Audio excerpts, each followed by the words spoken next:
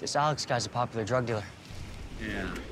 So, Madison's plan was to wait till he ran out of drugs and then follow on to a supplier. But given the fact this guy's a murderer, that could get us killed. Jordan!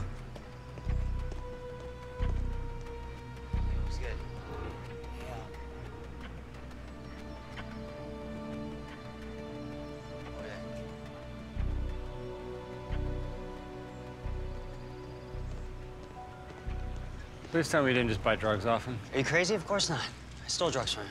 I think I saw a narc over there. What are you talking about? Yeah, over there. At the light?